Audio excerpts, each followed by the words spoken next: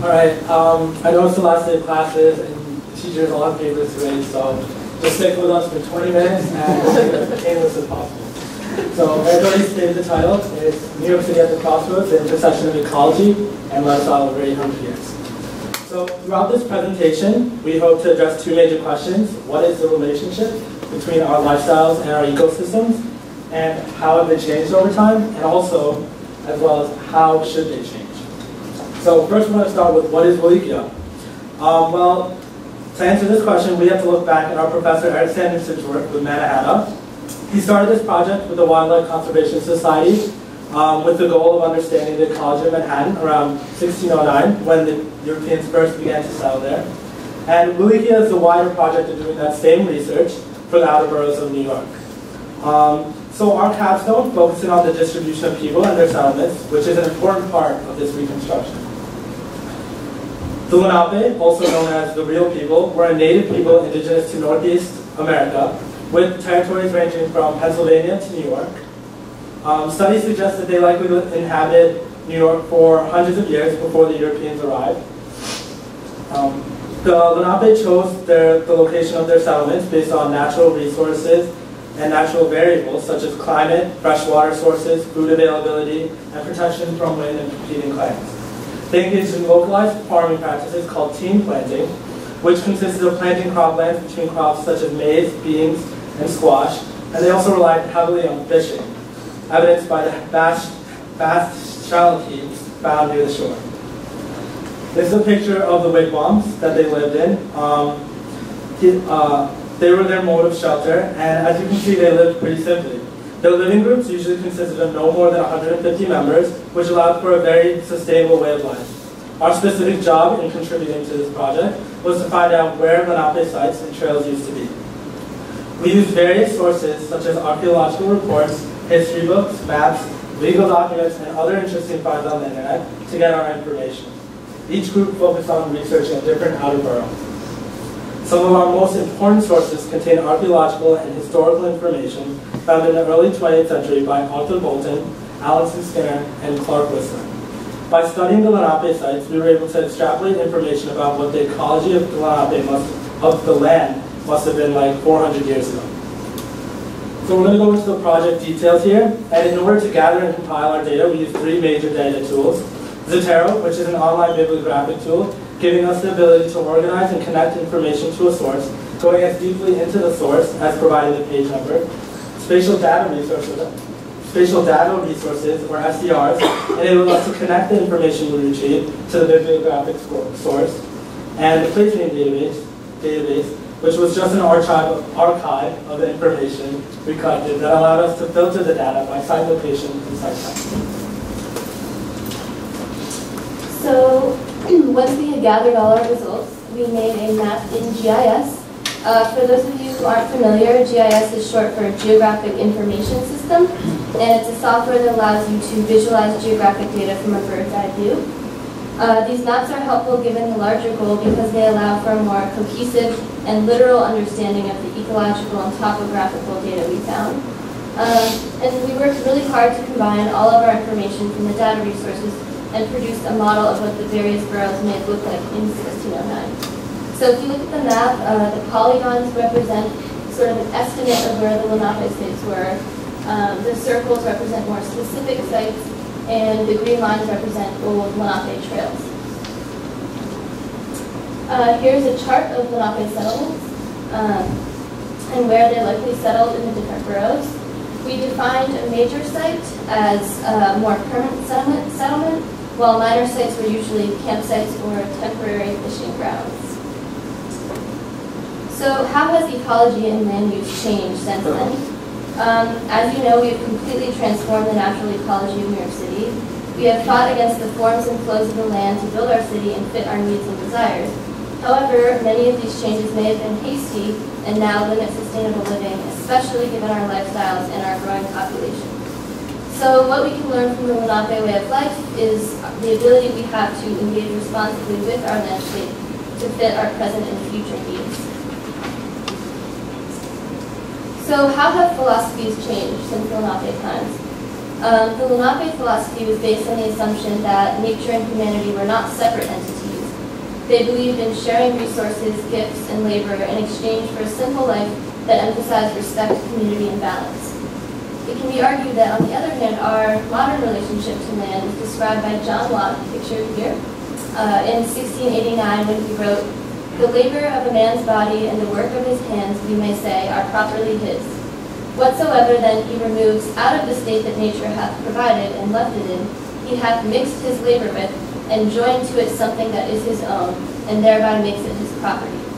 In other words, our philosophy seems to stem from the idea that land is something we can assert ourselves upon and own permanently just by interacting with it. And then we tend to pass on ownership of the land through generations. Um, and the Lenape do not really understand this way of thinking. So why should we look to the past in the Lenape way of life? Um, mainly because our current way of life is premised on an outdated assumption of unlimited natural resources that is no longer sustainable. And uh, understanding our original ecology can help us restore parts of the city to a more natural and sustainable state, one that will ultimately protect us. Um, here is a painting of the Lenape Indians making a land agreement with the Europeans. Um, and based on the different philosophies I just described, it can be said that perhaps the Lenape did not have the same understanding of the treaty uh, that the Europeans had.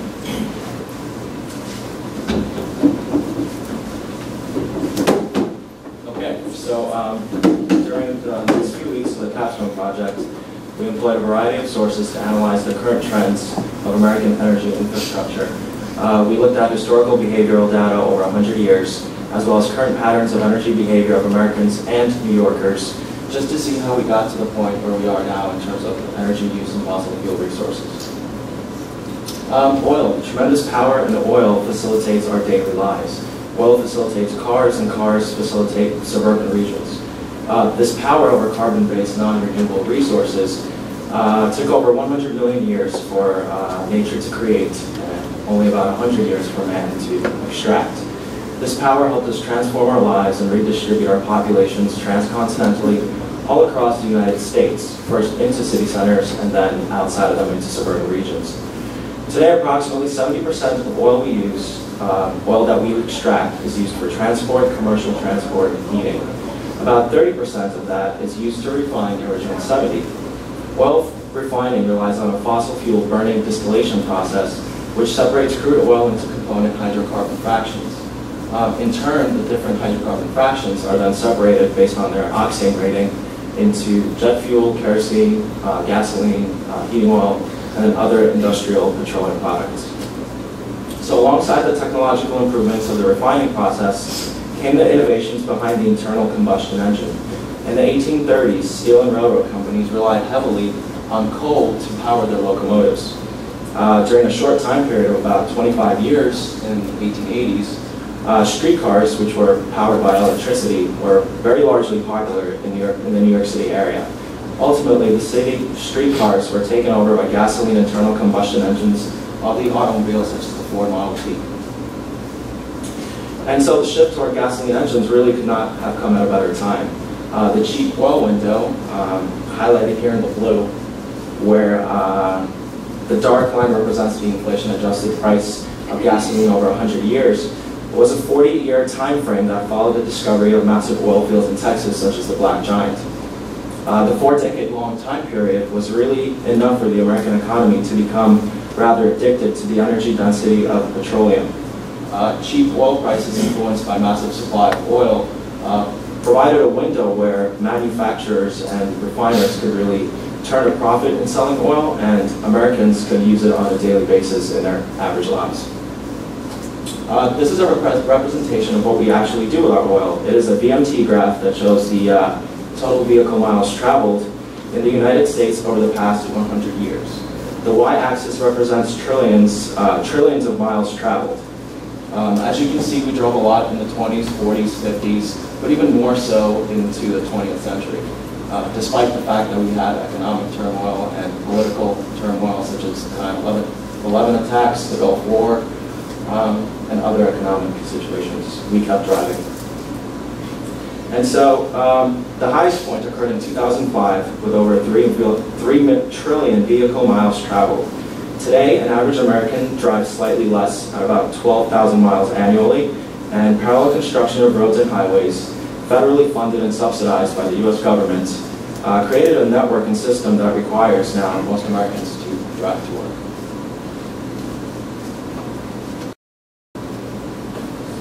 So the 3 trillion miles per year actually take us to the suburbs. Here, the Great American Expansion took place from 1940 to 1960.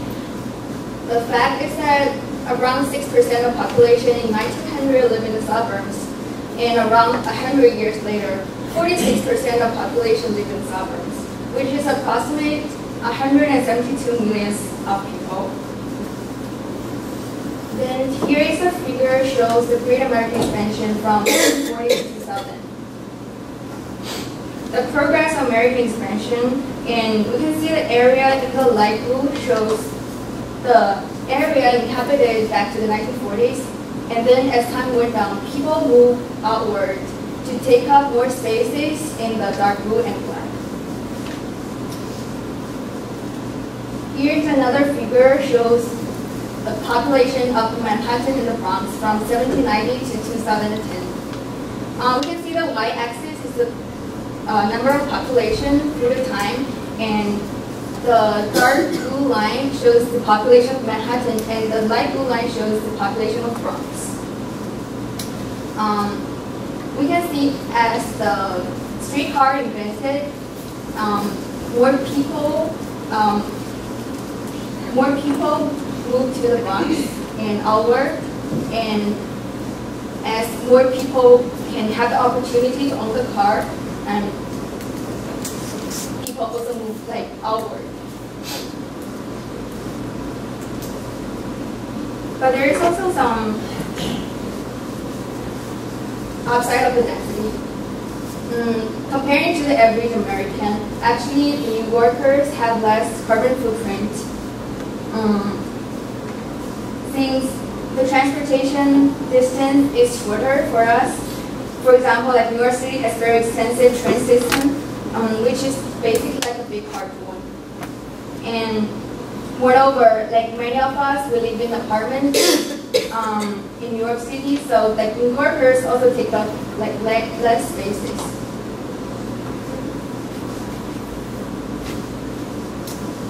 Um, comparing from the Manhattan period to the present, uh, we can like summarize in five aspects to show the lifestyles have changed a lot, including housing, transportation, food, waste, and energy. The first one is about housing. Um, we first see the left one is a very typical Lenape living spaces. It's called Week One. Um, it's built up with organic material and it takes up very little spaces.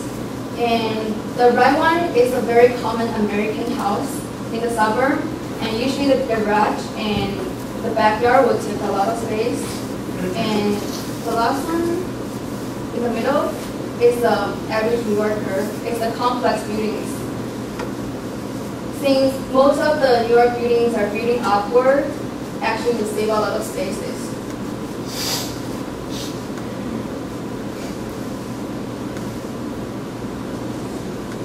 So for transportation, the Lenape practically did it the best because all they had to do was walk everywhere. And then if they wanted to travel up and down the stream, they just took their canoe.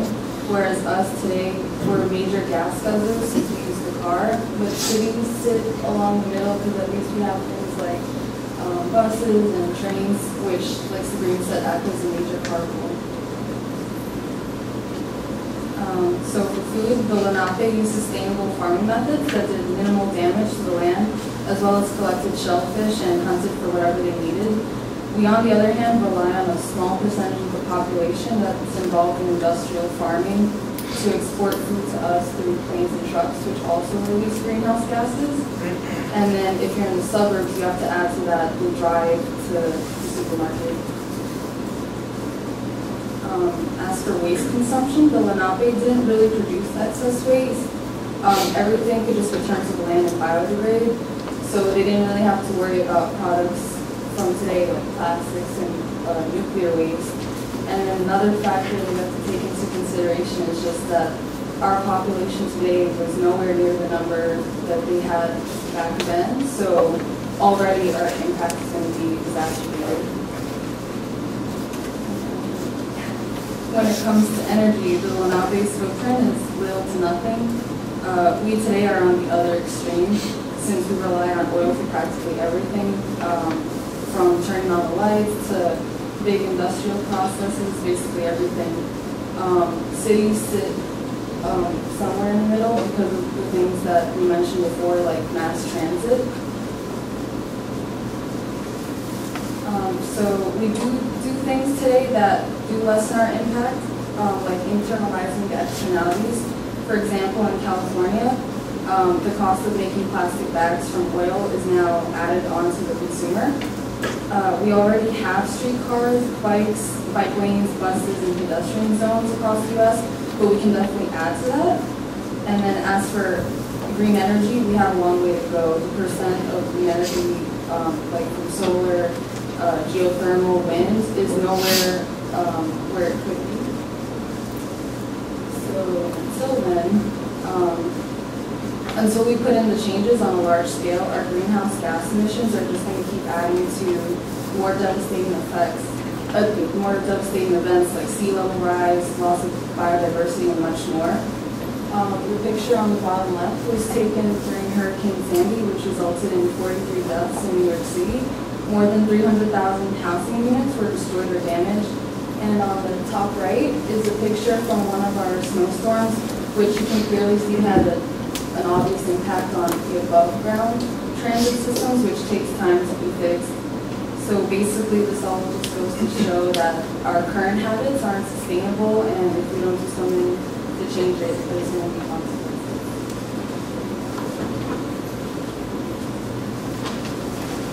Uh, so the future of Manhattan. Uh, we spent the entire semester investigating Manhattan in the past and in the present, so now what? What can we do with this knowledge to make a more sustainable future? Uh, we've come to understand that 400 years from 1609 is driven by the availability of resources. However, with our continued, develop, uh, continued dependence on oil, cars, and suburbs, these available resources will no longer become available to us. As a result, we must shift away from, the current, from our current patterns of resource consumption. We have made steps towards a more sustainable future by using Dr. Sanderson's website, mannahatta2409.org. This website allows users to create their own idea of what Manhattan should look like in order to be a more, more sustainable.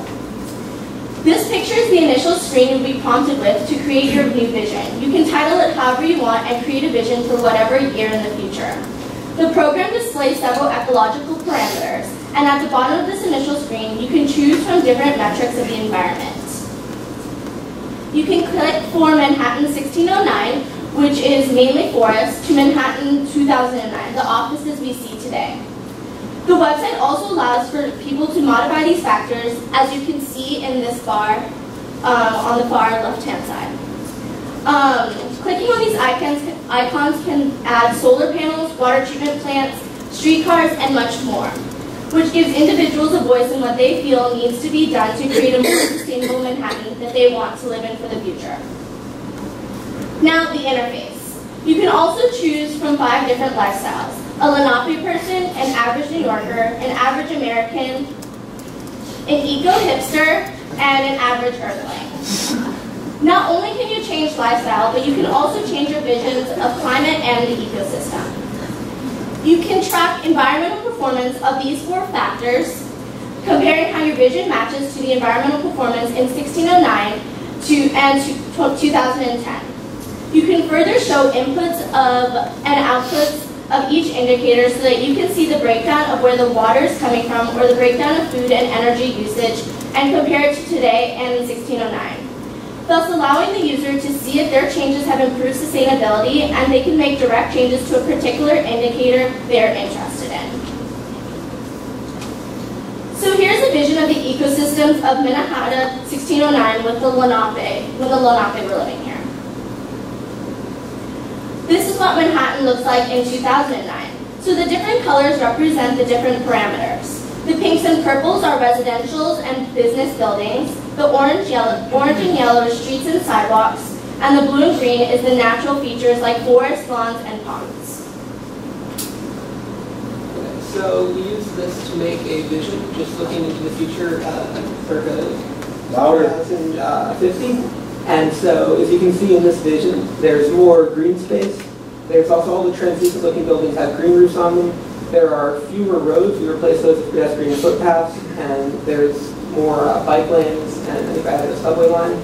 And so what you can do after you make a vision is you can look at your environmental performance, and this measure, you can see water, carbon, biodiversity, and population, and you can see also the little sticks there, uh, which shows you the green one is 1609 Manhattan, the uh, sort of dark gray one is 2010 Manhattan, and then the one, your vision is the orange line. So you can see this vision had somewhat less stormwater runoff, and had, or compared to 2010 at least, also compared to 2010, it had more biodiversity and a lot more population. Also, it had higher carbon emissions, but if you look at per capita carbon emissions, you can see that this vision had a lot lower per capita carbon emissions, just due to the fact that so many people. And so this is just a, another way to demonstrate how increasing the density that people live at can be uh, more sustainable in terms of emissions.